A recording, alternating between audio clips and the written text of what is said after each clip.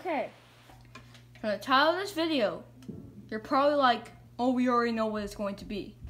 Well, as you can see, there is no smoke machine in sight. Look, no smoke machine, just ignore the mess.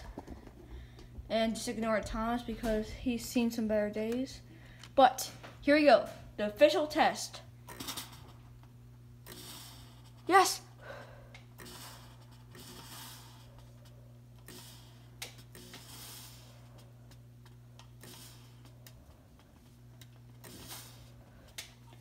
You seen that?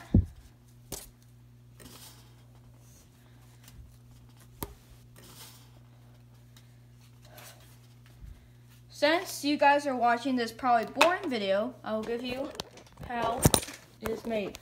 So, first off, Thomas out of the way, and there is magic smoke coming out.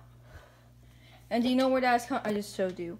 So, this pipe, I mean not pipe, it's cardboard things. It runs up to there, to the bottom of the tracks, there. And it goes all the way down, this paper thing.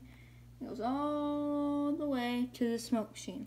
So smoke machine is pushing the smoke there into there. So now it looks like the engine is wishing.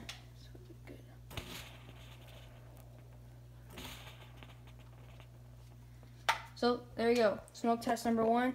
I'll probably make a full video about it of different tests, but there it is.